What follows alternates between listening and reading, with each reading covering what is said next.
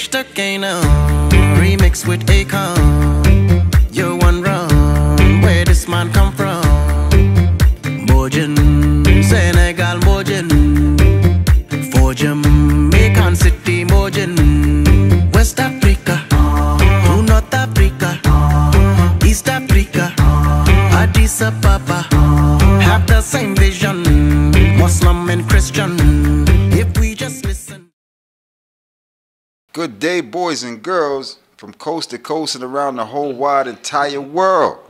Welcome to a place we call Vegan Dream Donuts. We are live in full effect. Got my brethren with me. Yes, family. Bomani Tyehimba. That's from it. Africa for the Africans.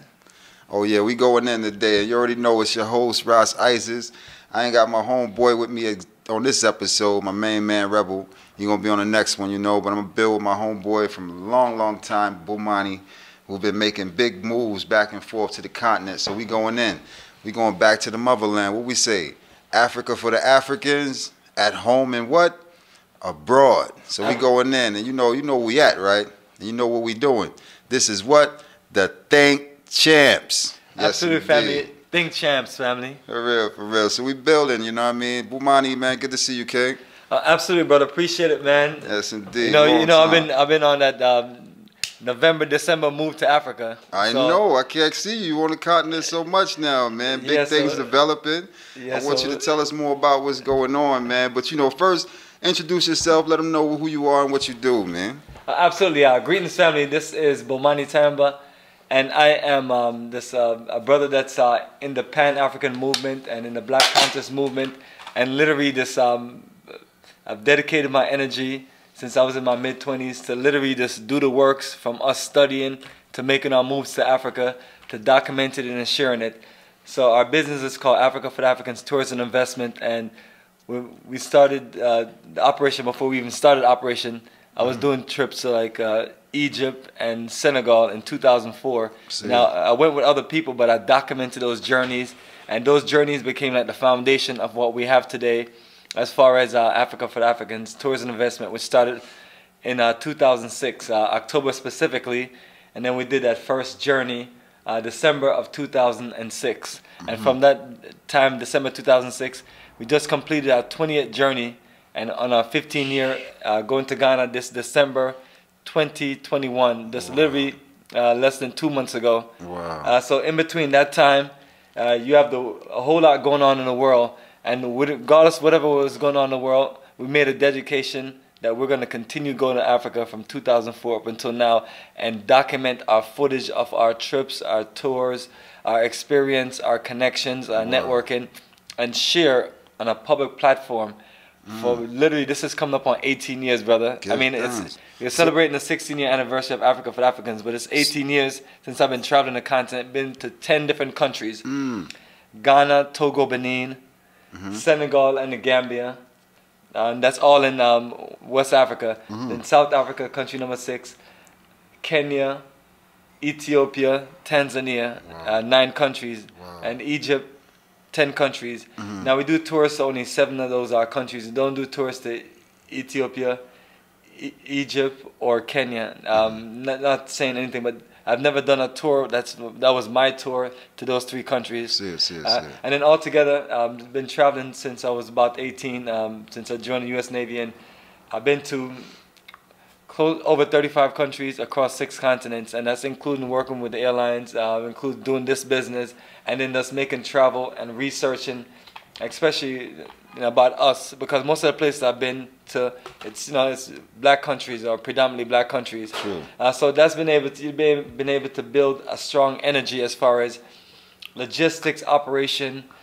Uh, being able to deal and handle customers and having things administratively organized because you know at the end of the day it's still business And that's the that- thing too. I wanna I wanted you to touch on for us too is you know the business aspect of it because um most people think when they leave America they're just gonna move to Africa and they don't do anything but just live off the land. But you have to establish some type of business to feed yourself and educate yourself and educate the people because Africa needs us to come there with our skills, our education, and our tools. You know, so I would like for you to build on that more about the uh, the experience as far as businesses and things that's that's going on in Africa. Absolutely, yeah. The business aspect come from since we're all in the diaspora and we're making that reconnection bridge to the continent. You know, you can start with just setting up your business here, uh, Mm-hmm. whichever way people like to do it. Uh, but it's when you're dealing with international business, you have credentials and you have things set up from the country that you're operating from Mm-hmm. and, the, and the country that you're going in. So, like Ghana, we have a business office there, mainly for Black Star Pan African community, but it's our business office. True. Uh, we have a tour guide and other uh, members that operate tours, and they have their office and operation there. Mm-hmm. Uh, so you want to build that relationship and be clear from both standpoint. Like I'm the uh, tour leader, tour organizer, and tour administrator. So I put all the schedule and all those things together, and then I reach out to my partners there in Ghana, and you know you share with them the schedule, and you you know you, you get a group to commit to your tour members, and that's why I tell people that this stuff is very you know intricate to where you have to literally lay things out and then you have to build relationship with right people to make sure that everything runs smooth and that your brand is going to carry on. So that that means you're also getting into training and things like that. But as far as business uh, you just basically have to just when you start going to the country you'll get a feel of how business work. But beyond that what you do is you let your crew in the country operate and handle business. Like example for black star pan-african community Uh-huh. the entire operation of that whole business was set up there in Ghana. I organized everything in the U.S. But my corporate attorney there literally did all of the legal paperwork for our you know, for our incorporation, and he also did all the legal paperwork to get our land survey and land search. Hold on, all- hold on, hold on, Bomani. Yeah. You're going too fast. Slow up, slow up. Because hold on, look here. Now we're dealing with the land. See, we need to know more about this land. Yes, I was We need definitely to gonna get into more that. about uh, the land. So want to hold on to that because I want to definitely speak on the land and, and the purchasing of the land, the cost of the land, and the uh, convenience of owning land in Africa, and the, the ways that we can build up the land in Africa. You know, collectively. Absolutely, we can definitely get into all of that. I was trying to give you a my foundation. thing is the collectiveness, you know, because we don't want to be no one away where I'm on all the land by myself and I'm here on this island or this continent by myself. I want to be able to uh, go out the door and network with my people that I even know, because I mean, we can move over to Africa as neighbors. You know, we can develop Africa the way we see it over here, and we can be neighbors in Africa. And that's what I'm looking to more get in detail to because um, the way you have it set, my brother, is beautiful, man. I'm, I'm really proud of the works you've been doing over the years and the education that you've been educating our people over here in the Western Hemisphere about what's actually going on in Africa because you've been going before pre-COVID. Uh, way before that. You know what I'm Uh, saying? uh, you know, there was no the- mask and all these things and all these mandates, you know, when, when you were first going. So now, in this time, we are with 2022. And uh, I like to say first, happy Black History Month. Yes, indeed, big up. Happy Black History Month, 365 days of the year. But first off, we got to big up a man whose birthday is today, because you know they call it Valentine's Day, right? today, right? Yeah, but y'all need to be celebrating and, and honoring a man by the name of Frederick Douglass, because today is Frederick Douglass's birthday. Okay. You know what I'm saying? So differently though, we want to build more on what we can do and how we can build ourselves in Africa. So, what would you think would be the best step for ones who are on their first journey? Because you take a, how many people you take on one trip? Uh, it could be. It, it varies. Um, could be from anywhere from ten to forty. Those have been the range. Blessings, blessings. So 40 people on a plane coming out the west into the continent. That's beautiful, man. That's that's a movement. That, that itself is a movement. So when the people are getting there, what are the procedures they need to do to get themselves into Africa? Uh, yes, as far as the procedure, um, the main thing is um, you know you, you you have to make sure that you're clear on the schedule and the itinerary that we have on our website, AfricaForTheAfricans.org. Uh, make sure you're clear on the visa process and things like that. So we literally go into the information with you. Uh, so once you have your uh, visa, once you put your money down for your, your journey, and and the, and the visa is in reference to uh, Ghana, uh, the Gambia, and Tanzania. Those are the three countries that we have on the schedule out of the four countries that require visa. So a question: Does all uh, states in Africa require visas? No, uh, out of the four countries that we are going to, uh, only three of them require visa. Senegal is the only country that doesn't require a visa. Senegal. I hear that. So Senegal. those become the core things. Mm-hmm. But when you're doing your tour package, we're gonna get your ticket for you, and we're gonna get all of your accommodations for you. So those things are set. And Mm-hmm. what comes in the accommodations though? uh, Break that down accommodations um, is uh, your flight package from like we're here in Atlanta, so our flight will go from Atlanta to Amsterdam and Amsterdam to Ghana or Amsterdam. wait, wait, wait, wait. We stopping in Amsterdam first? Yes, we're using Delta KLM Oh and my Air France. gosh! You know I burn herbs, you know. So Amsterdam got some weed I need to be smoking too. You can, so you can you can stay back long on your return, but that's just the how schedule long we is the, how long is this stop in Amsterdam on the way? Um, it varies. It could be two, three, four hours, but it's in, based on the individuals. The individuals confirm if they want a long layover or a short layover. Yeah, at least need a smoke break. 'cause that's a Yeah, long. so, how many uh, hours of flight is that? That's eight hours. You talk about eight from- to nine hours from, from- the U.S. to Amsterdam, And then that's just from Amsterdam. and about it's about the same, about eight hours to get to like Kilimanjaro, or it's like uh, seven hours to get to Ghana from there, or or seven and a half hours to get to. Well, if we're doing um, Senegal, we, we use the Paris route, or we use the direct route from New York. So this, the, the thing of it is, Mm-hmm. So that's we have different like routes and 16 sequence. hours in flight. Uh, yes, if you're gonna look at the, the two the two tours that we do, the main tours, which is uh, to go to Ghana and go to Tanzania.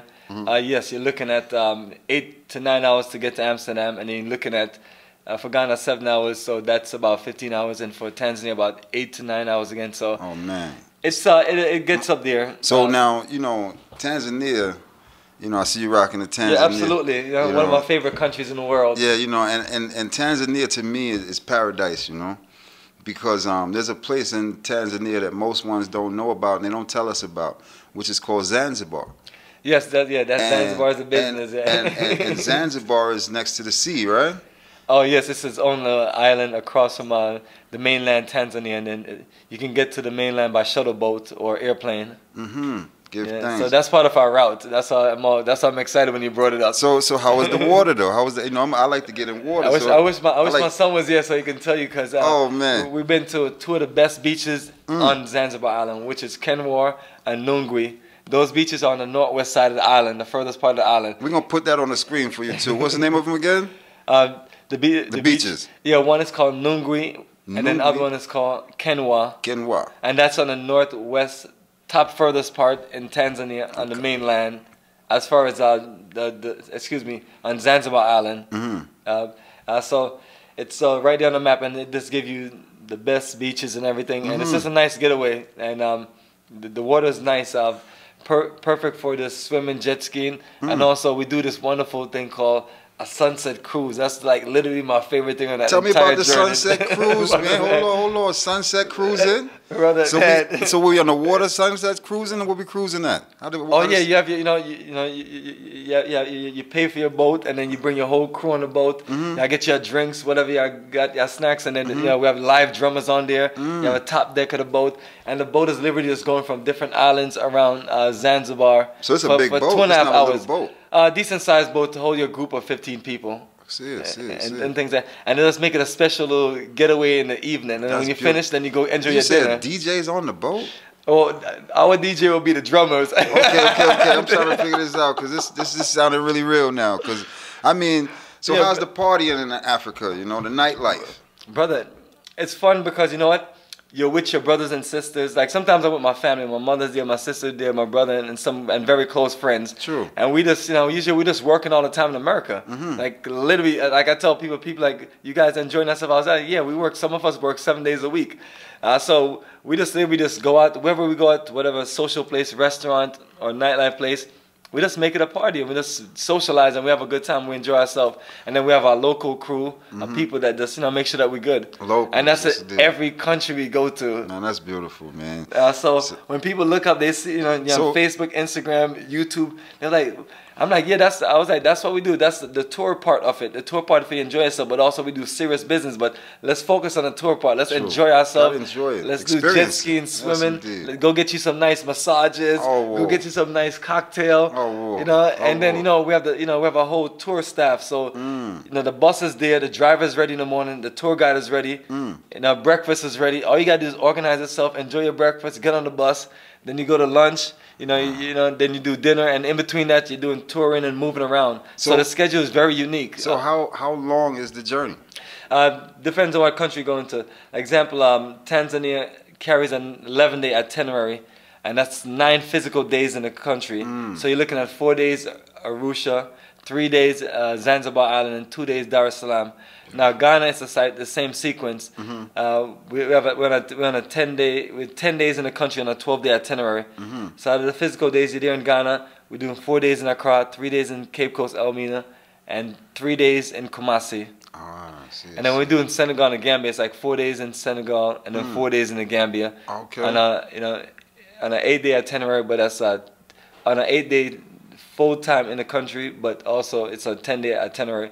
So whatever amount of time that we're doing in the country, it's uh, you know you add two days as a travel True. schedule to, to go and also to come back. Now I know that uh, most black people, you know, we don't really travel to the continent like that. You know, it's usually usually Europeans traveling Yeah. back and forth to the continent. So how are my people received in Africa by the Africans in Africa? Man, your brothers and sisters want to see you come home, I mean, they understand that sometimes it's an economic situation and us l- have a lacking of understanding of the purpose of why we should make that move, you True. know? Because sometimes, you know, people have other things, you know, based on the finance of what's going on. But the fact that some of us can make it, because, you know, it's one of those historical things. You are stolen from your continent. True. And, you know, no one ever thought that we'd even come back. So the fact that even me and you is having this conversation is incredible. Yes, and indeed. that's why it's a, re- and then people are like, why are you always smiling? And I'm like, yo, it's a reasonable smile. Mm-hmm. True, I mean, we had a whole world like just cast us out and forgot about us. True, true, Yeah. true, true. It's true. Yeah. It's true. And And, the- the land is ready. So is is it is it enough land for everyone? Oh yes, one one thing about uh, Africa, it's enough land for those of us who want to come. Mm. Key thing for those of us who want to come. Mm. You know, now if it was the whole population for the diaspora, now that would be a little adjustment that needs to be made. Mm-hmm, But nevertheless, that's where the abundance of land is, man. Africa, it's it's it's all there. So what we have is 15 acres plus 60 acre plus 60 acres for a total of 75 acres. But in that area and other areas, you know, you have more land. You just got to do the Mm-hmm. wait, research. Wait, hold slow up. So you said 60 acres. What, what's 60 acres now? Now we have two phases of our Black Star Pan African community, and when we do the Ghana tours, we usually take the groups, and those are what we have like on YouTube showing Mm-hmm. the 15 acres, which we have um, a couple already living on there.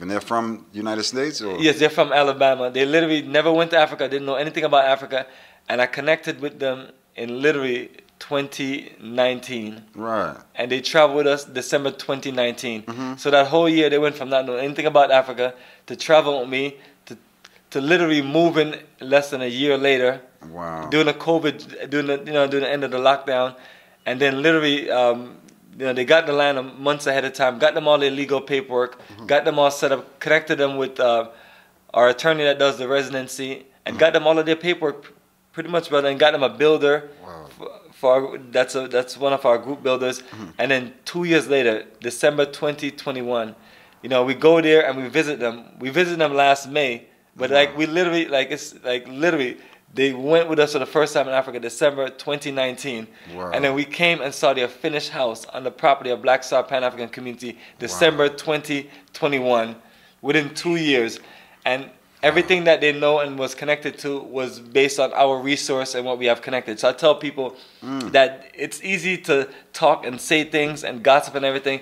It's a whole different story when you're able to this when people are investing their money in you and they depend on you to come through. And then, then you show them the path of how they came through. That they depended mm. on us. That's why most people when they're traveling with us, they don't have those connections in Africa. So they went from a Bible Belt, Alabama, you know, Georgia, these are Bible Belt places. So they went from a Bible Belt place to the original land, and they got their own door keys now. Brother, it's Within amazing. three years? We, no, brother, this is this is less than two years. They literally, you know what I mean? And I gotta keep. Was the house built from scratch? The house is built from scratch. They just started building the house last year, like a year ago. So, you know, within all that time, we're getting them all their legal paperwork Mm-hmm. and everything, and they're there in the land peacefully. And then other people are building peacefully. Mm, You know, and, and it's it's it's beautiful. we make it seem easy, but it's it takes a lot of experience. I've worked with so many other groups of people Right. who got land and then they just like the thing fell apart. Mm-hmm, and, mm-hmm. uh, one group was Fihankra, one group was Garvey Town. But the thing of it is, in their failures, you learn. It's just kind of like in Marcus Garvey. We learned that we learned about how Marcus Garvey was set up and sabotaged. Mm-hmm. So in this generation, we're educating ourselves how to prevent those things from happening because we know about one thing that's always going to be there and that's always going to come. Self-hating Negroes, race traitors, black devils. Mm. And this movement is important. Brothers like yourself who was here doing the work, you like, you know, you keep in touch with me that, you know, because I mean, like your connection to the motherland. True and I appreciate that. You know what I'm saying? I mm-hmm. appreciate representing my brothers. For real, for because real. we have to get up every day and dedicate ourselves to us as a people. True. You know, I'm one of them people. I'm always telling people: you marry your black woman, you have black children, Mm-hmm. you teach the black youths them how to to, to, to, to build civilization. True, man. You know, and that's what this community is about. Yes, It's, you know, uh, our children. You know, me, you, Mm-hmm. True. all our children. Uh, Brothers and sisters that are watching, they'll be able to work together. They'll be able to run Fortune 500 corporations that are 100% black owned and run Mm, because of you know I love Malcolm X always man one of the greatest teachers ever word. Malcolm X educated us that land is the base of independence Independence, you yes, know, it's indeed. just about freedom and justice from land Okay. you know, and we realize that the biggest issue that we have had in America is that whenever we get the land we can't really build anything on the land because then that causes an issue because that's black power hmm true, true. but then true. now the chiefs and the people that we're dealing with in whatever African country, Mm-hmm. it means so Ghana, they, they, they, they like they, they feel like they want some of that black power, Ah. and and you know and they want to turn over the, the ancestors' land over to people who want to build something for Mm-hmm. us as a people because some of them can easily I know people always associate selling out with chiefs and you know based on historical events Mm-hmm. which is what it is but you know it's like you can't condemn all chiefs especially all Ghanaian chiefs and things like True, that true, you know you have a lot of chiefs there in the country they're looking at me and you because Ghana has been that country privilege of this having a leader like Kwame Nkrumah, and Kwame Nkrumah was privileged being here on the East Coast, True, true. and you know learning about well, it's Black History Month. It's Black History Month. Let's speak on Kwame for a minute. Perfect, absolutely. Yes, indeed. So Kwame was the president of Ghana.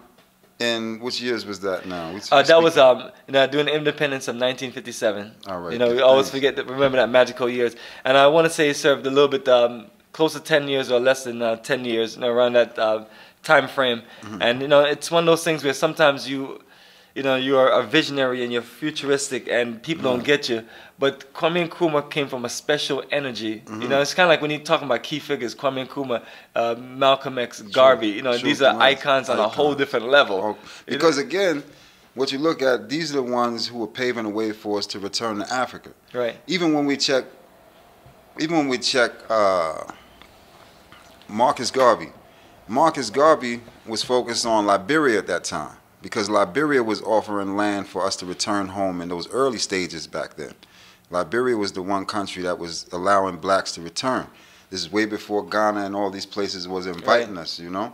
So and Ethiopia as well. We got to Oh, remember absolutely. Ethiopia, Ethiopia is in the mix. because His Imperial Majesty gave us land in Shashamane dating back from 1948, the Shashamane Grant. And that's another grant that was given to us for black people to return home in the West to our land to help develop the land of Ethiopia. And these things have been going on since the continent, all through the continent after His Majesty sparked that fire. And I'm thankful for that because he was the one who formed the Organization of African Unity. And he was the one who actually brought all African states together to unify for the benefit of bigging up the whole Africa, the continent, working together. And these things were going on in the early stages. Even Mandela. Enough ones don't even know. Mandela went to prison for the gun that Haile Selassie gave him. Yeah, you have to look these things up. It's history. Why was Mandela locked up? Because Mandela went to Ethiopia and got training from the Ethiopian uh, army and His Majesty and trained him there and sent him back to South Africa to lead his people. And His Majesty gave him a gun. And Mandela went back to South Africa with that gun, and they never found the gun because Mandela was smart. He took the gun and he said he wrapped it in a cloth and buried it five kilometers in the earth. So you ain't gonna find that. You ain't gonna find that one. You know what I mean? but I get, I guarantee they want that gun still. But differently, Mandela went to prison for the same gun that His Majesty gave him for what? To fight for the revolution and the freedom of the people. You see what I'm saying? Because we as a people got to realize, say, we have a land to defend. You know, and we thinking over here, we defending our block. You know, you're on your block, defending your block. And you ain't thinking about your mother Africa. You know what I mean? Which you should be defending with all your heart and your might. So in those early days, you had certain political leaders at that time in Africa who was on the development for the bigging up for Africans returning home to Africa, as my brethren was speaking on, Kwame Nkrumah. Because Kwame now was in Ghana, right? Yeah, absolutely. Now, his whole thing was to bring Africans together in Ghana from that time. So you had ports that we were being introduced to, and then at that time, you got to go back because we got to go black. It's a Black History Month. I need to know this history. So going black in that time, black people like Malcolm X, even King. Enough ones don't even know King went to the continent too. Yeah, King was in Ghana for that independence. We got to know these things. Yeah, yeah. Coretta Scott and King went to Africa too. You Yeah, just like understand? just like uh, Dr. King was a warrior. You know? Sometimes you don't get his respect and, and profit uh, and and, uh, and props and respect as you know as a warrior. But yeah, these are all of our warriors, man, and and they made- educated. Yeah. They don't give King his props for being educated too. The man was 15 when he went to Morehouse College. You understand? So he wasn't an idiot. Yeah, he wasn't walking around with his pants sagging off his behind yeah, talking about what's up, shouty, and what up, bro. All right? The man had education. The South was educated. We forget these That's things. You know what I mean? We were educated and we owned our own land and we had our own businesses. This is where we came from.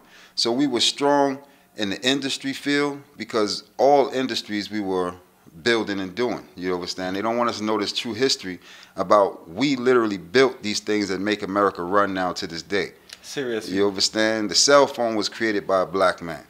The same phone you on now was created by a black man by the name of Henry Sampson. You know what I'm saying? Henry Sampson, right? Then they come up with a phone, they call it the Samsung. That's what's up, man. You know what I mean? they give you the Samsung, and you ain't realize that the Samsung, the man that built the phone, the first man who created it. So all these things that we have done in that time, we were very skilled and educated black men and women. We were no idiots. You understand? We knew the the earth from back and forth. We knew maps. See, right now, y'all don't know how to get from east to west without the GPS, right? Right. So I call it the GP stress, but differently though. Our people were looking to unify with Africa, and that's one of the main reasons why they had to assassinate. Because remember, this, this day coming up, you got you always celebrating the birthday, but you got to celebrate the assassination, because our people have been assassinated too, right? But when Malcolm X was assassinated, it was strictly because he had formed the OAAU in America at that time, which was the Organization of African American Unity, off of His Imperial Majesty's branch of the OAU, which was formed in Ethiopia. So it was a time for us to unite and come together. And that's the one thing that this European does not want to see us do as African descended people is unify. Because once we, as the Africans here in the West, unify with the Africans in the East again and start our trading and start our development and building, take our education, take our knowledge over to Africa and help build up Africa even more. It'll be the great continent which it always was in the beginning and it shall be in the end. But they don't want us to do that because if we do that, why? We'll be totally independent. Mm. Yes, sir. So speak on the independence of owning some land, Bomani. Yeah, absolutely, family. So that is the vision. I mean, Mm. you know, people always ask me what was the end goal, and you know, I'm telling people that we can actually see the light at the end of the tunnel now, Mhm. because you know, it's like you're thinking about going to Africa, and you're like, all of these things that's taking place. You're thinking about repatriation, living and doing business. You know, so the independence is gonna come from when you build on the land. hmm You know, you clear the land, you build the structures, your business center, your community center, you build your homes. Mhm. Uh, that's on the you know first 15 acres. The next set of land, 60 acres, you split that in half. You use half of that for commercial development. You're putting up your medical building. You're putting up your you know your education buildings. You're putting up all aspects of things that you need. No, I'm, one, I'm I come from a maintenance background. You know I mean, you maintain and you fix True. uh, uh, things from whether it's computers, airplanes, machines, and so on and things like that. Uh, so you have those things in place, and you have it to where, you know, you have a young generation from you know your physical children to the ones in the town. They're getting a chance to learn and operate, you know, an organized community. You know, and it, it's remind me of like uh, a military base. You know, people always look at, at like a military base like uh, you know it's like a small you know unit or a small little city or a small civilization. You know, it has all the aspects of life in it. You know, things like that. Or even so, you know, when I was on a naval ship, uh, aircraft carrier, Mm-hmm. and you know that's what that also represents. So our town, our community, the land that we get, you're building it to where it's self-sufficient. You're gonna be clearing 10 acres of land. You're gonna be growing every single thing that you ever wanted to grow, even on the, your 15 acre community and around your community. You, you know, I think about Jamaica where I grew up at, and um, and every time you turn around where we live at in the backyard, you know, you have your mango trees, you have your, your guava tree, True, your apple true, tree, your orange tree, Mhm, you know, all of them, you know, Pear niceness tree. there and Yes, things sir. like that. And then you know you have your, your garden on the side or the front, and then you know you know you grow your callaloo and things like that. Mm. You even have your ackee tree. Then you know you go climb up and go pick your ackee and things like that. You you just get into that life, man. That, that was one of my fond memories just growing up in Jamaica and that, that life. Right, true. You know, Everything so- off a tree. You can pick a fruit from a tree. You know, and then you come to America, you come to the, the, the concrete jungle. Right. And then, you know, I used to tell people all the time, I was like, what's wrong with this place, man? The man them don't have no fruits on the trees. Well, we got plenty of trees, but no fruit on them. yeah, so that was the thing that's always tripping me about about that. So once I started going to Africa, you know, I was like, Big man, trees too. They got red, like, red oak like, I'm trees, back home. you know? redwood trees, big old trees, but no fruit on it. So we would walk up on a tree and just hug a tree, but no fruit on it. The thing was to climb up a tree and pick a fruit from a tree, or maybe even hang out in a tree, because most people don't realize in this day and time we don't plant fruit trees like we did. You know, that's why we're not seeing fruit trees. Yeah, They they got- plant on like a plantation or somewhere like that. Where, Right. So it's like we don't develop the land. A man will buy some buy a, a land. We even buy the land. He'll buy a house. He'll buy a house and spend five hundred thousand dollars just for the bricks. Live there and never plant one fruit tree in his Yeah, yard. serious. People do that. You know, he'd plant a few bushes. You know, to sit around the place and be bushed up and cut up, but he wouldn't actually plant a tree so his generations could actually eat off the land. And some of them, if you have trees there, they'll cut them down. Yes. Like in the case of where in, in Ghana, like the, you know, like Accra, you know, the the the, the concrete jungle. hmm Like literally, you know, and then the issue is when you cut things down, like on our land, we did have to cut some trees down and Mhm. we kept the good ones, but at the same time too, if you're gonna do that, you gotta go back and replant. Truth and right. Truth and right. You know, it's serious. It's the most important thing that we can do when we have land.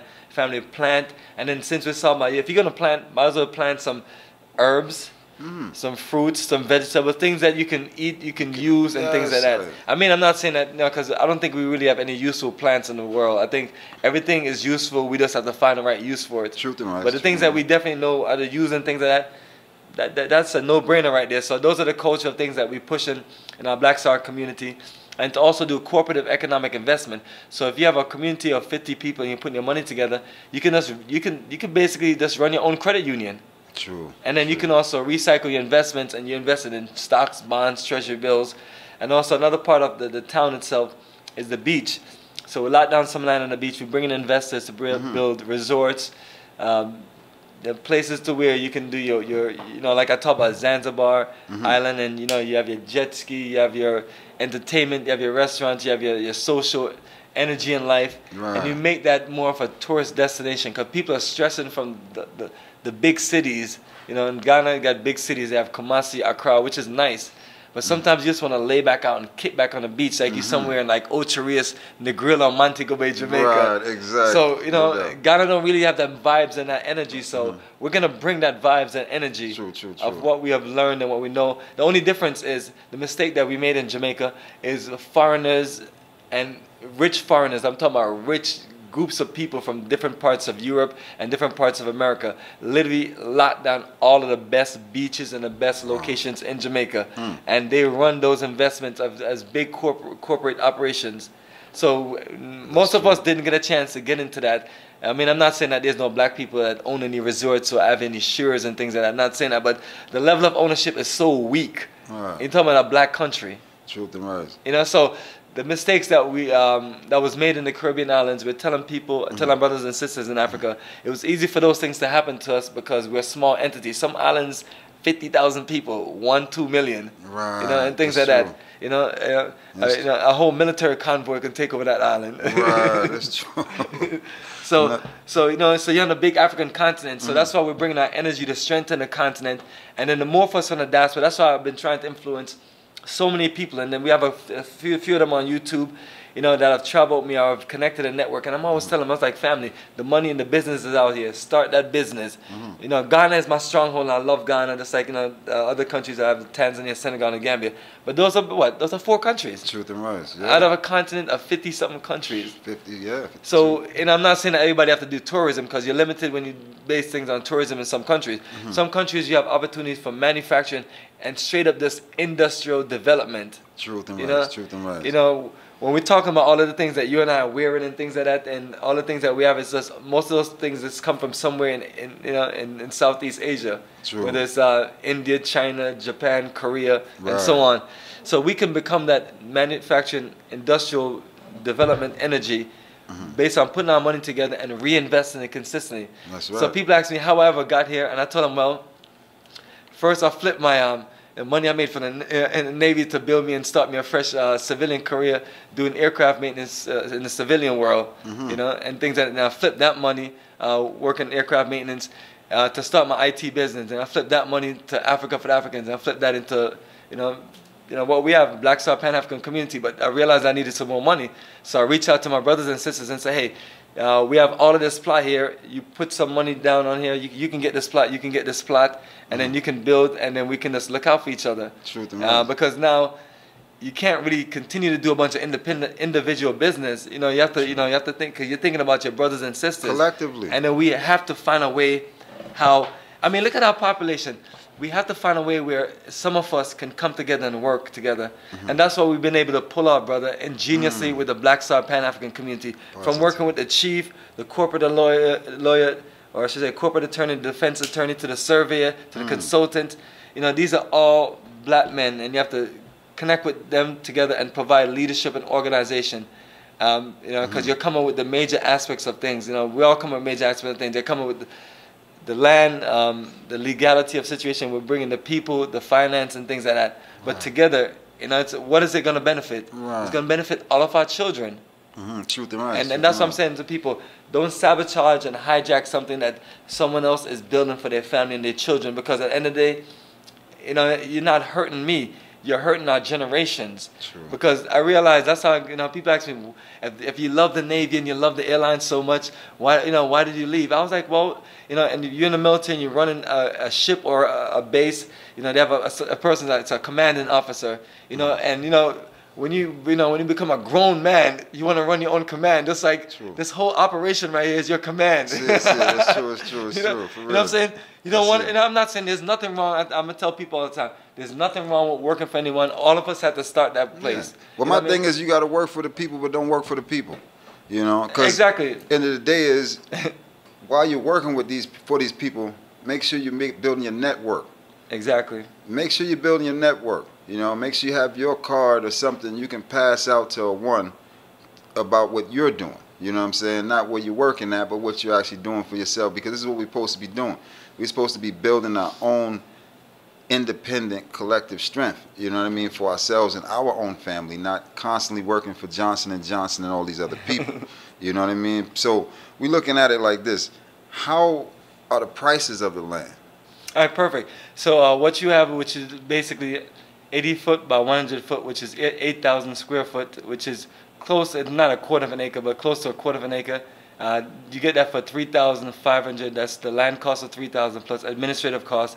Administrative cost money is uh, what we used to do all of the work that needs to be done, including money is going to the attorney, going to our consultant, and people who are just helping us do certain things. Mm-hmm. Uh, so that means you're not operating from a broke standpoint, you're operating from a standpoint where you have a organization, you have the money you need to do the certain work and get the job done. So that's 3500 The next thing is a survey. The survey is $350. Once you get your survey back, uh, the deed is no cost. Um, um, our attorney, our attorney uh, type up the deed.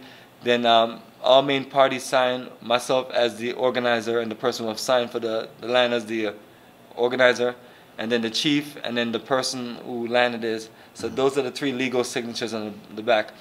And what holds this up is a 99 year lease that we all sign, our board member and the chief board member. And these are court signed and stamped documents.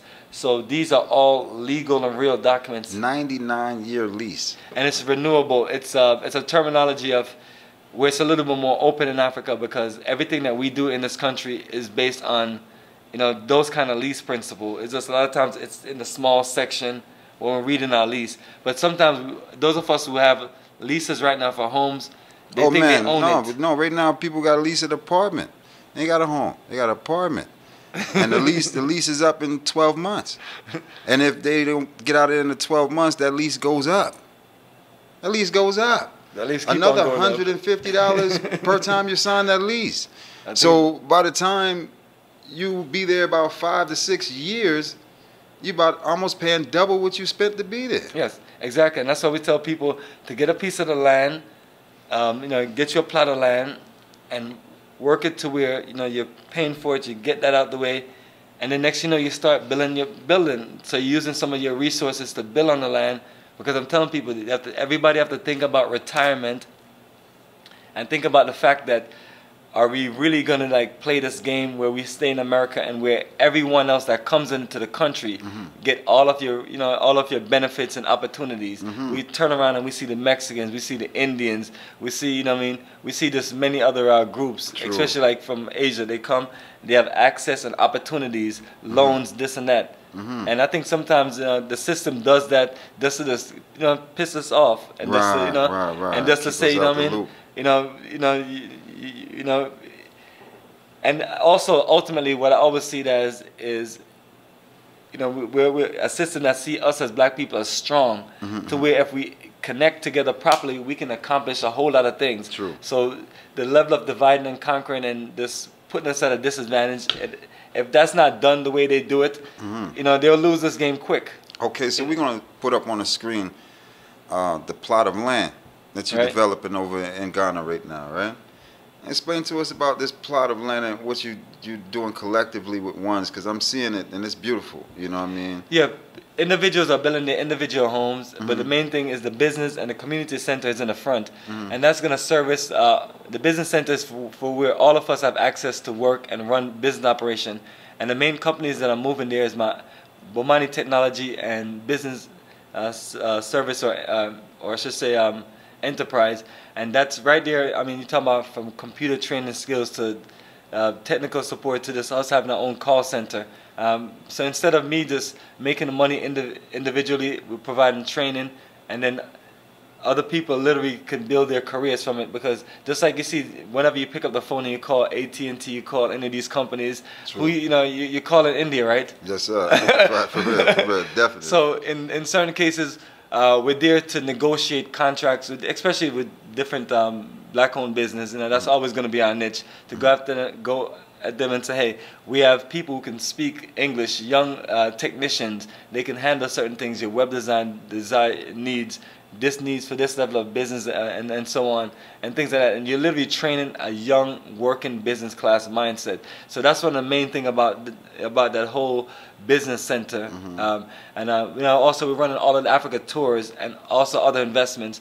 As we build up our team of people who do sustainable living and do security and things like that, mm-hmm. then you sell those services to other groups of people coming in, mm-hmm. and then you're offering consultation and things like that. And the community uh, center is very social. You know, you have people in the town, the community. You know, mm-hmm. you have you have swimming pool, you have certain social programs, you have training, and you know, you know, you just incorporate certain, you know, certain food program and things like that, and just you know, be a source for where, you know, you, you know, you- you're not just being there and enjoying life, but you're doing something. You know, you and I, you and I always talk about. It's all about the youths. True, true, It's all, yeah, about, all you know, because youth.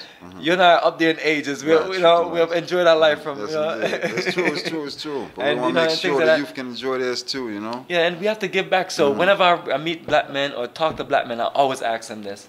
And I've even asked this one guy in an interview. I was like, you know, what are you doing for black people? What are we doing for the generation in the future? Mm-hmm. And his issue was he was confused because he was married to a white woman. Mm. So he he he realized that it's not his job to do anything for black people. That's what he said to me. Mm. Wow. But also, it's not his job to respect a black man like me, who is, you know, you have you know you have a black woman, you have a black child. Mm. Everything that you do is black. Mm-hmm. It intimidates some of them, and I'm telling people, yo, I'm not here to intimidate nobody. You, you do what's best for you. If that's your business, you want to marry an Asian woman or a white woman, that's your business. I'm not here trying to save a whole population. I'm trying to get the best one percent of black people, so we can build a foundation and leave a legacy for our children, True. my children, your children, all of our black children, to where now they don't have to spend all that money going to Ivy League uh, school in America to get an education to where they get out there in the market and they got their suit, they tie, they got their portfolio. right. But then, then look at who your competition is. Right. You know, the that's true. children who, who, who basically, you know, are the sons and daughters of the owner of the company. That's true, that's so, true. are you gonna give someone else a job over your children? No, I, I want my children to be educated because Yeah. here's the thing. What people don't realize is that, especially us, not see people, just let's go to us because Alright. us we, we we got a lot of uh, you know doubts and misunderstanding about ourselves as a people.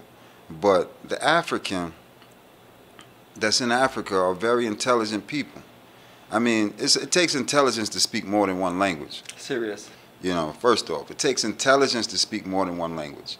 You know, and most Africans speak at least five to seven different languages. While we stuck on ebonics and all this stupidness out here. You know what I mean? Thinking we speaking over them because they don't know the new slang. All right. But this man and woman speaks five or seven different languages. They can go into a whole next African tongue that you can't even form your tongue to do. Right? So we got to learn from our people again. We got to learn to share our knowledge and build together and put away our little petty differences because we got more in common than we got differences. Serious business. And when I look at it, speaking of the land, because you know, like Malcolm said, the land is the basics of independence, right? So with the land itself, 99 year lease. You you, purchase anything that lasts 99 years, you can't live 99 years to see the 99 year lease. But my point is saying is that let's take a 10 year span. All right. Let's go 10 years. Let's go 2022 to 2032, right? Now, in those 10 years in America, after 10 years, you're still going to have more debt. You're still going to have a car note, a house note, right? Still going to be in debt for those 10 years after 10 years pass. But in Africa, if I own the land for 99 years, could you imagine the amount of things you can develop in that time period of owning that land, possessing that land, and don't have to worry about nobody coming to take something away from you, snatch something away? How many people ever pay for all this money for a car, and the repo man come and snatch it, right? Repo. Repo out there, man. right? He come and snatch that thing up. You understand? You spent your hard-earned money on that, and you ain't even you got to really enjoy it, right? But in Africa, you saying I got land now. Right. So after three years, I can go, I can build my house. Another year, I can go and develop my business. You know, and by those 10 years, I have everything established and I can actually live. I could even plant a tree within those 10 years. And I can eat a fruit off my land in 10 years. So the development is in Africa, it's not in America. We got this thing twisted. We're supposed to be doing business in the West, but living in the East. Because if you check it, the Europeans doing it the Europeans is living in Africa really sweet. Oh yeah, that life is good for them. They are buying the best Warren Buffett and all these guys that you looking up to and watching their numbers. These people own land in your land. The best of land too. Paradises. So my point is saying that we need to focus again uh, lining ourselves up with the continent. Because sometime in America, you know, I feel like the last stolen African left. For real, for real. I know I was stolen, you know what I'm saying? You know, I wasn't just here. I was captured. You know, I wasn't a slave, but I was captured. You understand? From my land and brought here.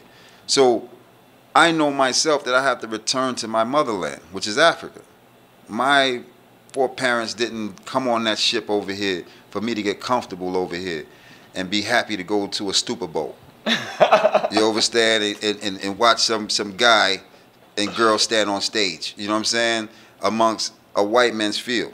You understand? When we can be in our own land, running our own things. You see what I'm saying? Even when a time when when Muhammad Ali had wanted to fight that fight and he fought that fight with uh what's his name, the big boy, the bear. What's his name? Uh the boxer dude, um Foreman. George Foreman. When George Foreman and Muhammad Ali fought, they fought in Africa, right? Remember that fight? Uh, yes, absolutely. And it was a black man who organized that fight too. He didn't get a fight over here in America. they were Yeah, fighting him down. The whole sequence. They But he- showed it in the Ali movie. Yeah. Yeah, he took the fight to Africa. You understand? And banked. The rumble in the jungle. Yeah, the rumble in the jungle. He banked in Africa because see, our mind state was different. We were closer connected to the African. You understand? And these days and time, they got us separated so far apart. We think we different people. We don't realize the things we have in common. So them men and, and women back then was unifying. Bob Marley went over there as well. Went to Zimbabwe. Yep, Zimbabwe sang the independence. Yeah. Independence tune. Zimbabwe, Yes. right? He said Africans will liberate Zimbabwe. You understand? We'll fight. We're gonna fight. We are gonna fight for our rights, right? And this is what we had to do. Those songs are still liberating the people to this day. You understand? Because word sound is power. No matter if it's then or now, the truth is still the truth. And Bob spoke the truth. He spoke to the inner soul of man. So, because it was the truth. And man need to realize that there's a voice inside you that's saying some things. A lot of y'all ignore the voice inside you. But that voice inside you is the voice of truth and rights. And when someone defends it and speaks on it, it resonates within your inner soul. And that's what Bob and a lot of the prophets did, like Peter Tosh.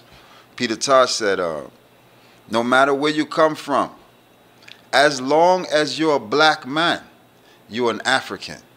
Some of y'all need to pull that tune up too, because he mentioned more places, even mentioned places in the United States.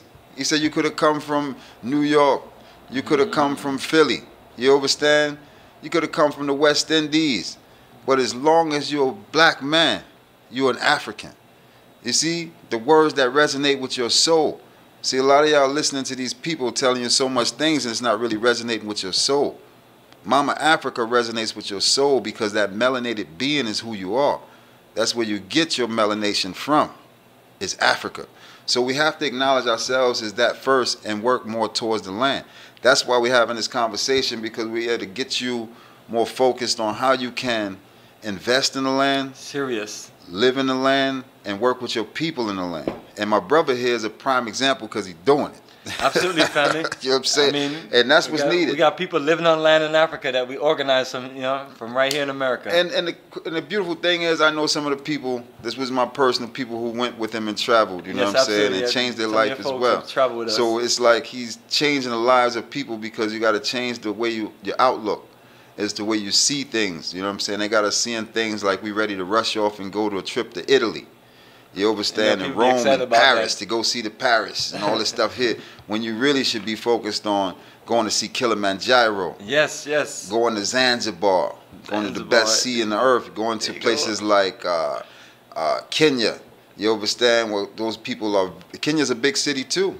Kenya's a beautiful city. You know what I mean? South Africa even is a beautiful city. So we got a lot of things going on in the continent that we don't even know because they got us thinking that is ula bula and all this little madness. You understand? We ain't looking at Africa on the heights that it is. So we have to elevate our mind and start looking at these things. It's a beautiful thing with the internet now Yeah, absolutely, because family. with the internet now you can pull up things for yourself no one ain't got to tell you nothing or you're going to believe nothing you can see it for yourself check out these places check out the beauty that africa has to offer because it's a beautiful paradise and that's what we've been taken from we've been taken from paradise you understand we comfortable in hell you see my shirt right harriet tubman what harriet tell you she said I freed hundreds of, of Africans, stolen Africans, basically. And she would have freed millions more, hundreds, thousands more, only if they knew they were slaves. There you go, people. That, that stuff stuck in their head. So comfortable being a slave. Comfortable being a slave. Yeah. You understand? Comfortable in captivity. We have to free ourselves first within the mind, and then we free our body. But we have to free our mind. And this is what I'm talking about. You had the brother that I was speaking on, Don King. Don King spent 10 years in prison, right? Came out of prison, started his own company, managing company, and wind up making the biggest fight in history for black people. You understand? In the prison system. Traveling to Africa, making that happen. Why? Because he liberated his mind first. Mm. The body was trapped in the cell, but the mind was always free. You understand? And that's what we got to do again. We got to free our mind and stop getting caught up into these little materialistic things and focus on what's real. Fruit trees are real. Fruits are real. You got to be able to eat from the earth again. Serious, You man. understand? Pick a fruit. That's why You land is saying? important, you know. Touch you don't got no your land, you can't plant nothing. You can't own nothing. I mean, Because what what do you really own in America? Only thing I can think of of what people have is people have depreciated cars, homes, and they have a bunch of junk in their Repo home. man outside. repo man, you know somebody repo. Mr. No. yeah. Repo man outside. Because right now, the eviction man waiting. Right? Repo man waiting. We talking about 99 years.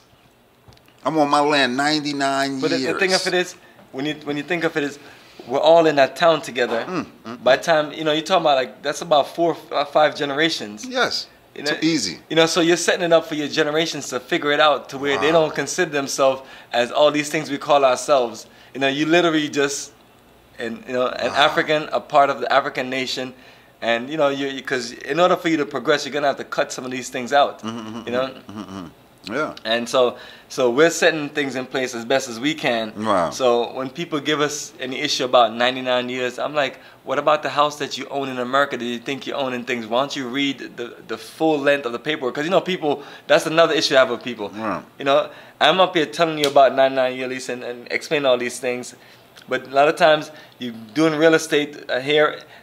People are not telling you all those things. They're expecting you to read it, and then when you don't read it, you don't know anything. But but so you think you just you know you know That's you got a house and the, the deal was great. By the time you turn around, you don't pay for that house about three times. Oh no, you, you never finished paying for that house. Yeah, because you got to pay property tax and Oh, you, mi- wound up you- taking you- out a debt you- for that house. You miss You a payment of that property house. tax, and you see what happened. Like you talk about a repo man. Yeah, yeah. Hey, them they people come and get you. they you. definitely come repo that house. Oh, that they got they got to do call it foreclosure people.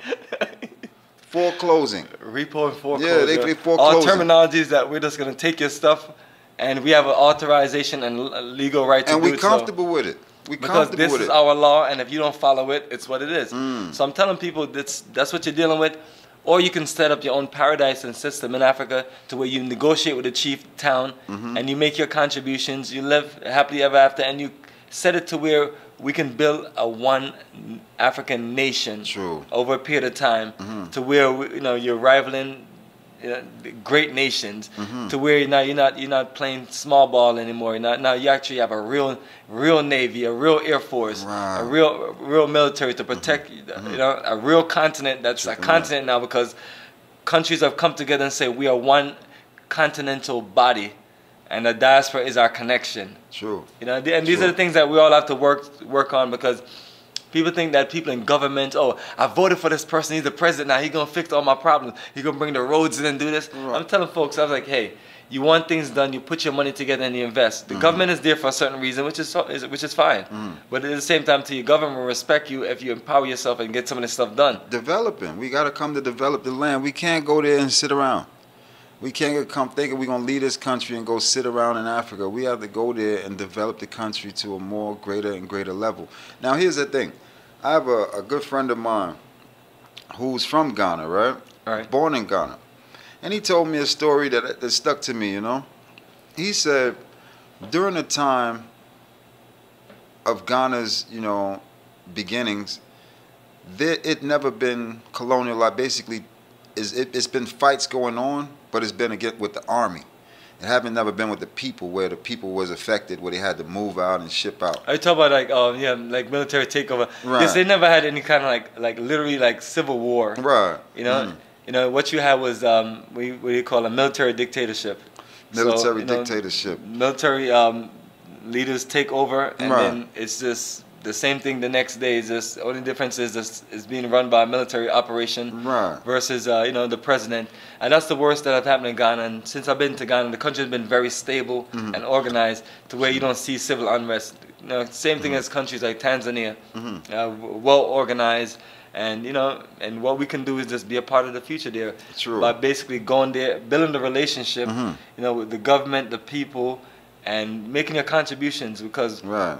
That's one thing that we have to show when we're making our move to Africa, showing what we are bringing from the diaspora. Right. Because we have to always remember that, the you know, nations like India, China, Lebanon, they're there, Mm-hmm. and they're basically doing a lot of things that we could be doing. We could be doing. We're you know? supposed to be doing. So it, it doesn't become Right. a free lunch or easy easy operation for us anymore because now there are people that are set to replace it. It's, it's no different from when you turn around and you think about the Mexicans, Mhm. and then when you think about even 20 years ago in Georgia, because I was here 20 years ago, Mm-hmm. and then you look at the construction site, you look at the landscaping sites, you saw brothers out there working. Yeah, back then. Good luck on Yeah. trying to find one brother. If you find a brother on a construction site, he got that sign that says slow and stop. No, I seen some Mexicans on top of the roof of uh, the Spelman building here. It was a Spelman uh, roof they were preparing. See, they couldn't find a brother to do the roof of Spelman, a black, you know. It was all Mexicans up there, high up on the roof. Here's the thing is, And oh, I'm not knocking, you know, the it's just- Mexicans it's, it's not like no. I'm not. I'm not the- the we the Mexicans are my family. people. That's my brother. He's the But- brown. We brown. and- we black and brown people.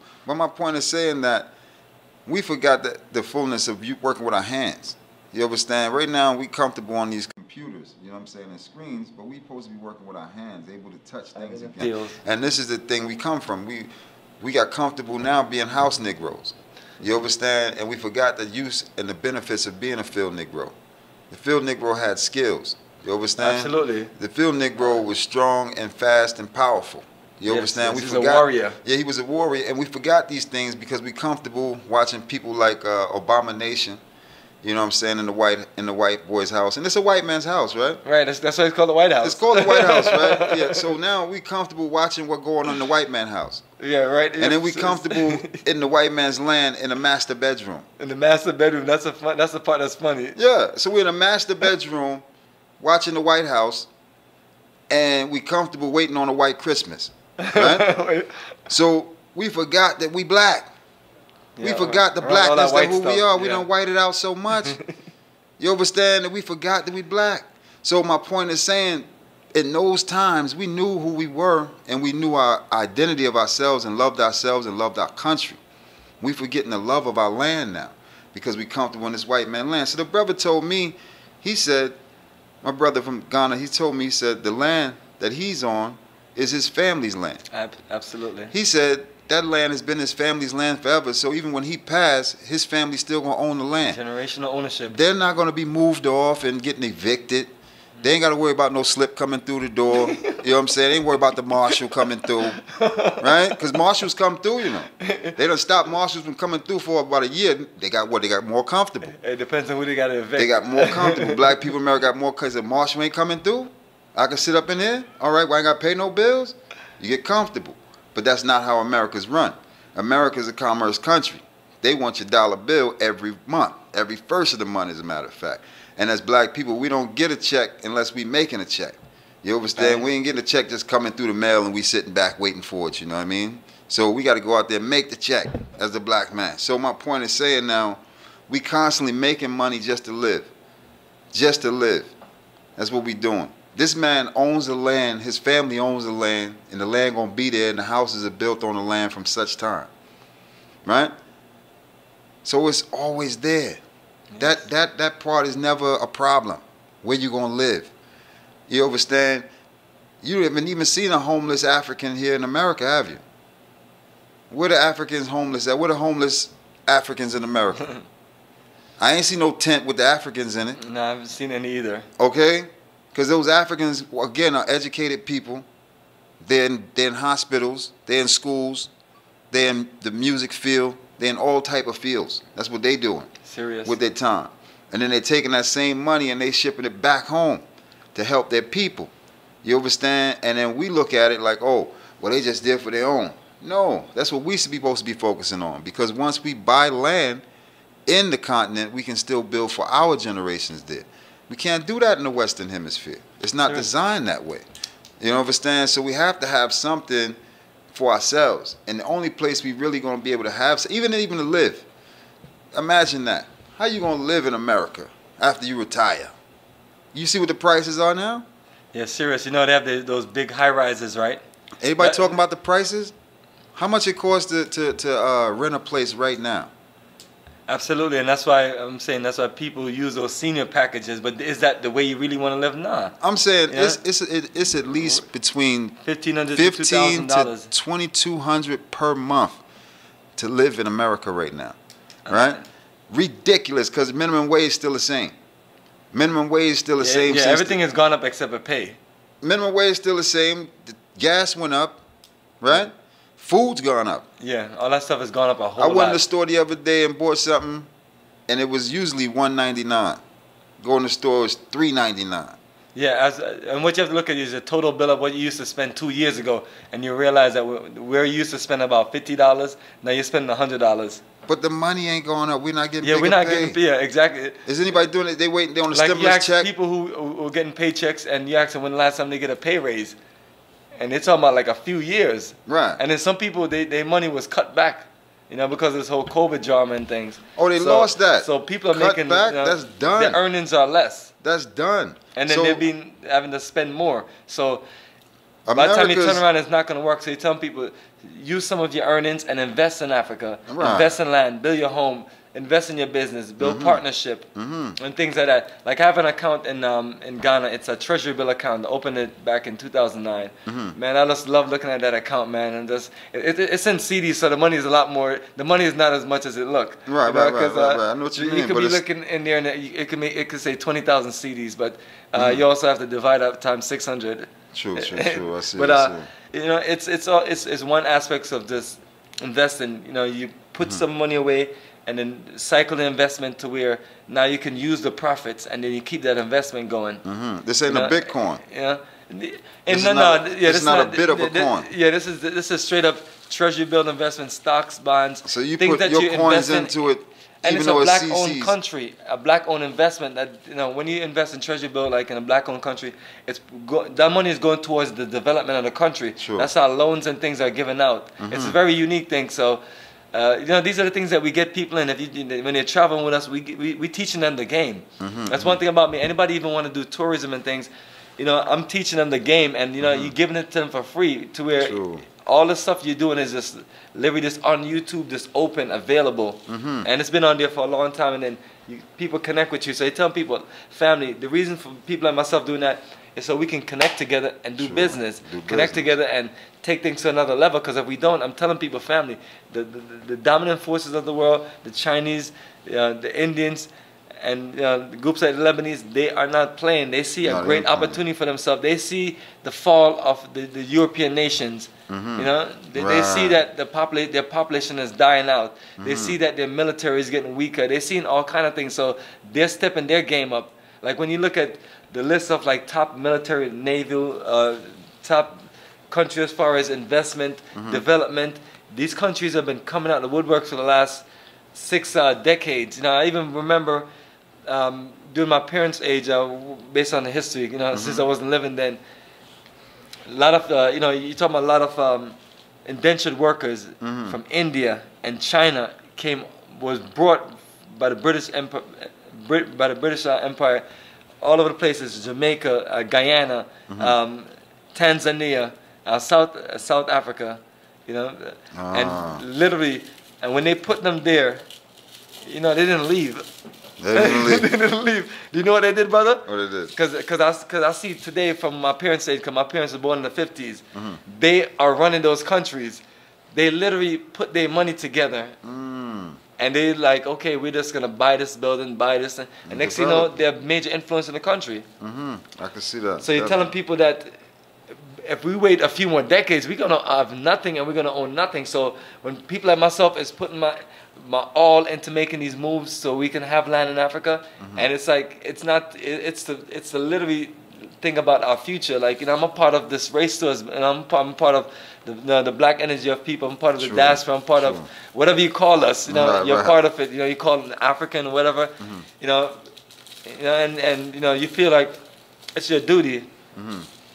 to literally contribute. And if you don't contribute, your children, your child, your family have nothing in the future. Right, And, it, and people think this is a joke. It's like this can easily just happen just like that. It's happening. And because if we just stay back and we become consumers, It's so that's what I'm telling people. We have the land, we build industries, we become producers, we grow food, we you know we do all the things that we need. Why do we need to import all these things from Asian nations? I'm saying Why do we even need to import food from Asian I'm nations? saying though, is this crazy? who is really homeless though? Because I'm looking at there's a lot of homelessness going on. Oh, here in America, yeah. Yeah, I'm about, and another thing about the homeless too, they ain't dead, and they ain't taking no shot. They not they not social distancing, right? And they definitely ain't washing their hands. And none of them are dead throughout all this pan, pandemic that's going on now, Interesting. right? They ain't pulling up bodies of homeless people. They're watching these people numbers on the screen, but they're not pulling up homeless people. Homeless people are in numbers. They just had to move a gang of them the other day off of the Capitol building. Oh wow, they're rolling like that. Yeah, downtown because Atlanta they, no they joke, took over man. the Capitol building. I mean, Wow. basically, downtown Atlanta, which in most cities That's right now That's is, their is, ground. is, is, is homeless shelters. Oh. Like the whole downtown is homeless right now. There's no businesses going on downtown since this uh, George Floyd thing, when they came and broke all this stuff up and the communities up. A lot of business never reopened again. Oh wow. So in this day and time, we're looking at a time where is that a lot of people are homeless. You understand throughout the evictions and all these things that happened, people lost their jobs, jobs then went out of business. So people income is out, right? Some people, yeah, behind the screen and you know making money still from home, so they call it. But the reality of the day, how you gonna be making money from home when you don't have a home? Serious. If the rent is fifteen hundred to twenty two hundred per month, and you only still making less than ten dollars an hour, even less than fifteen dollars an hour, how will you survive? You gotta be about four yards in that place, man. You see what I'm saying? So, kinda on some and then and then, then now they got us on this independent vibe. So everybody's about themselves. Right now, everybody loving themselves. It's Valentine's Day, right? Out there loving themselves because nobody ain't loving them, right? But the end of the day is our collective strength is not even in numbers. We're not even one house and every, you know, we're not in families and houses like we was in the beginning of times. It's like one person in one house, one person in a whole apartment. You understand? So at the end of the day, we independently spending all this money. That's gonna bring a lot of homelessness, brethren. And that's what the system is designed to make us lose. You understand? When we're supposed to be gaining. But if we take this time and this money and invest, invest it in Africa, we'll always have something for ourselves That in is the point, generations. That you know what I mean? point, so. I'm thankful to hear Serious. that because that's really what it's about. How can we utilize this time and money? Right now, they got people ready to invest their money in the metaverse, a place that ain't even real, right? Yeah, you want to spend money, real cash money, on something that ain't even real. But then the land that's right there waiting for you that you can actually own for 99 years. Yeah, the real land versus you. This is not virtual reality. This is like real land. And then in that virtual world, you you can't eat that. you can't eat those fruit in the virtual world tree. Right? Care what you pulling out there. I don't care what it look like. You can't eat that. You can't smoke that. You can't live that. Right? So the whole fullness is we got to develop something for ourselves and let these people world go, because it's a fake, phony, false reality. The only reality is the land. We need to own land again, and that's what we're not doing. We're not investing in the land like my brother here is doing, getting people to come together and save money by working together to work the land. You can't work it all by yourself. You need a team. Serious. We got that- that you definitely have to have. Have to too much stuff team. independent. We got to get organized and centralized. So we're working together, And that's so what we can really develop the land the way it's supposed to. So what he's doing is showing you a blueprint of what we can do all over the world. You understand? And this is where we are now. We're looking at this blueprint. You know what I mean? What can we develop and how can we work with Africa to benefit our generations to come? So I'm thankful for ones even tuning in because uh, this was a powerful build, man. brother. I want you to also tell us more about this visa. Like, how can we apply and get a visa? Because most people don't realize in order to even go to Africa, certain places, you need a visa. Yeah, and that's what I'm saying to everyone um, that they're gonna have to be open to some reading and joining our calls and things. But I want you on our website, Africa for the Africans.org. If you click on the Ghana link, the Tanzania link, or the the Gambia link, uh, you come up on a link um, outside of tour overview, general terms, and itinerary. It will say visa. Once you click on it, it does give you step-by-step details for the visa process. And the visa process is different for all three countries and things like that. Uh, but I can go to uh, example since I'm wearing Tanzania shirt. The Tanzania visa is hundred dollars for one year, and it's a multiple entry visa. But the good thing about the Tanzania visa is my favorite visa process for one reason. Okay. You don't have to mail in your passport. Mm-hmm. You don't have to mail in your, your passport style photos, and you don't have to send anything else. So all of those things are things that you'd upload after filling out all of your required information, and then the, uh, the- the information for the people who are inviting you. Like those are the things that we just have typed up already, and it tells you step by step. You know, kind of like in a sample application. So that's what I have for all three countries to help you get through it. And then the only thing that individuals will need is a flight itinerary, and then once you just start with that process of the visa, I will just get your flight itinerary based on the, the fact that we do group bookings with the airlines. Mm-hmm. I'll just generate a flight booking. Flight, rec- uh, flight itinerary from there and then you just submit it. Mm-hmm. Uh, so it becomes a situation where you're inputting your personal details and then also the details that we're, we're telling you to put in. And then if you get stuck, we'll help you. Right. But I've helped at least over 500 or more people with Give visas over the last 15 years, uh, mainly in Ghana, but in many other countries Mhm. and um, and things like that, Wow. including even Brazil. And So- it becomes an administrative process where you take your time, you read through everything. That way you can help and explain things to your brothers and sisters a little easier. So, So, those are the things that they get when they travel with us. Quick question about uh, uh, the traveling because, like I said, you was dealing with this pre-COVID and after and on this COVID time. How is it to travel to after Africa? Do brothers and sisters need to get a shot to go to Africa? They need to get uh, their COVID test, and the COVID test is usually 72 hours before you leave. Um, that you need to have a result that's showing uh, 72 hours in between the time Mhm. of you traveling. Right. Uh, it's the negative. Right. Uh, so so you just need to take the test. You don't need to take the shot. um, some countries may require vaccination now, but since we're talking about so many countries, Mhm. I don't want to make a list of countries that has certain requirements. But the most important thing for anyone that would, before they travel to a country is to make sure that they read the information clear on the embassy website or Mhm. the airport website for that country. The embassy website. Yeah, embassy website and then airline, the airport website. Airport airport website. website is going to be the major part of any incoming and outgoing traffic as far as people and Mm-hmm. things like that. So they're going to have those requirements for you to enter the country Mm-hmm. and things like that. Uh, so, so these are the things that you know based on who you're traveling. If you're traveling with us, it's simple because I'm going to have these things ready for you immediately. Mm-hmm. Before you spend any money, everything is ready for you. True. the Uh, right. that's the way I like to do business, Right. whether it's land or tours, because at the end of the day, that way you can't come back to me and say anything to me because you those are the terms up front. And then you know if you're doing land with us, you have to sign paperwork because it's a legal situation, just like your legal lease and things like Mhm. that. True. And and things like that. So we tell individuals. Let's, let's, let's, let's be responsible and accountable as black people. Right. Let's stop with all the little childish stuff. I, I know I'm a small time businessman and I'm not a Fortune 500 white business corporation, Mm-hmm. but you know what I mean. Do I have less value as a person than that CEO that runs a Fortune 500 company? And so I'm telling people, you guys don't do that to the, those those corporations. You know I mean? Right. But then don't. when a, a black man is building a company, you forget, you just look at, oh, well, your general terms and things don't matter. Um, and, and then just feel like they want to push you around and, and, you know, and kind of treat you in a kind of way because they spent money with you Right. and things like that. Uh, so the same thing I tell people when they even travel with us. You show up at Delta Airlines uh, about 20 minutes late for the flight. That you know that pilot is not gonna come back to the gate and get you because you know because you feel like you're special. Right. So it's the same Yes. rules we operate with in, in travel, real estate, and business. Only difference I would say, brother, is we're a lot nicer and more lenient. And even then, some of our people just take advantage of that. Mm. But I'm always telling people, we love you, and this is the reason why we build business and we make it organized. Because some people, if you deal with some of the, the white companies to do business with, some of our people are not gonna make it.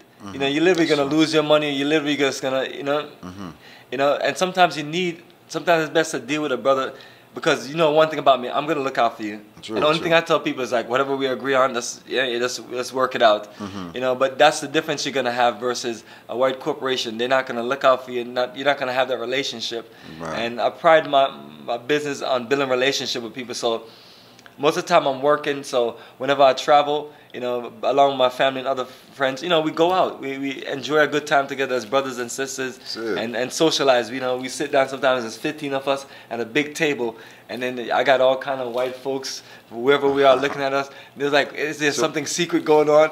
And Right. but all it is is a group of black people coming together enjoying themselves. Enjoying themselves. But it's not it's, it's not popular when you go to certain resorts where it's not much of us. Mm-hmm. You know, but I tell people it's like they can think whatever you want to think.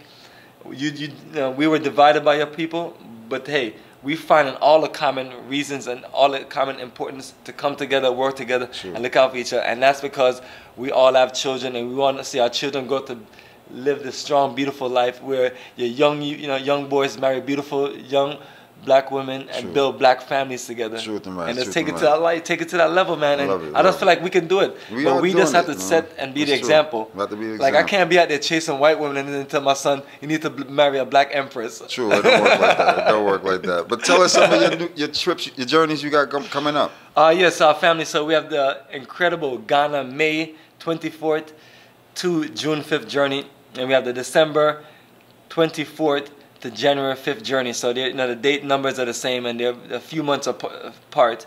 Uh, so those journeys, uh, right there, is Okay. my flagship journey. You know, and we're gonna we're gonna do this incredible repatriation investment conference that we always do. A lot of networking.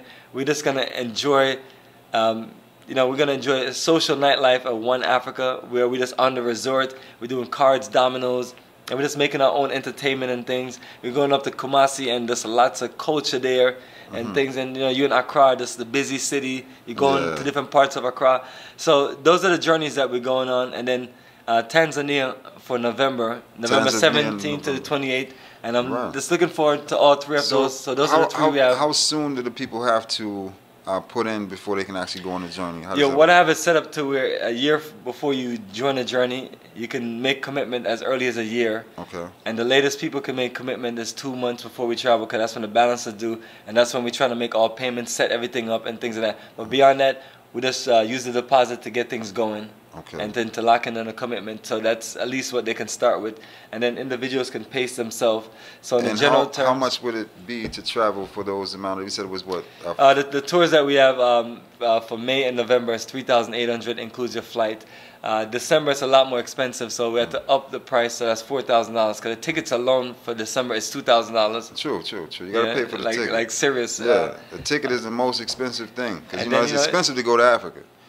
You know, it's just cheap to go everywhere else, but it's expensive to go to Africa. Why Yeah, is that? You know, you, add in transportation. You have a full staff. Mm. You have uh, hotel accommodations. You have entrance. You have you know meals and things you set up. So Mm-hmm. you're literally setting up a full package to the highest level. Right. to show your brothers and sisters the best time around all countries. True. And then I literally put the program together from scratch.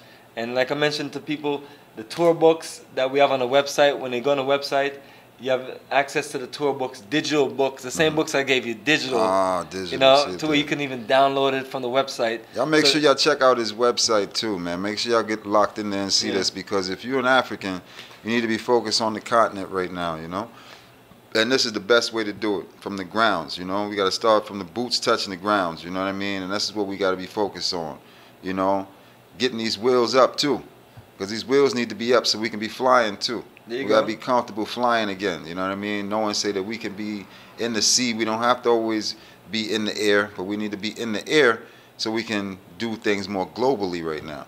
You know what I mean? And we need that. Now people need that. So we're gonna seal up this episode, man. I'm thankful for my brethren Yo, coming brethren. through, man. Give thanks Yes, for the family. power Appreciate your energy, family. Yes, Thanks for indeed. your uh, Y'all already support. know. We and always here to give updates on what we're doing in Africa. For real, for real. We gotta keep this thing going because we gotta keep people informed of what's yes, going always, on. in the man. Serious, I really man. Because it's a, it's a lot man. of misinformation and bad information out there online. So Mm-hmm. what I'm always telling people, family, if you want information, go to the source. Mm-hmm. Because even your brother, even on Facebook, they duplicating your, your, your, your Facebook page, they're stealing your accounts, they're True. doing all kind of stuff. So I'm telling, like, if I need to know what's going on here at this empire right here, I'm coming to holler at you. True, true, I'm not right. gonna holler at nothing else in, in that. I'm not gonna have That's it. people sending me fake messages and things. So family, it's real out there. It's Mm-hmm. a lot of phony stuff going on out there. Reach out to the people directly, talk with them, build a relationship with you, them, and things like that. And that's what we specialize in. So we have your back, family. Anyone that's looking to connect to the continent, reach out to me. And this is my direct number: 404 931 9429. If I don't answer, just leave me a message or send me a message on WhatsApp. And my goal is to communicate with you and make time to where we can go to this family. I got your back. Let's do this, man. Let's continue the nation building process. We got the land. Now it's time to build upon it. Straight nation building. Truth and rights. Yes, So we're gonna seal it up. We're gonna say Africa for the Africans. Africa for the Africans, at home and abroad. Peace and blessings, y'all. And y'all tuning out to what? The Think The Think Champs family. One love. Think champs, family.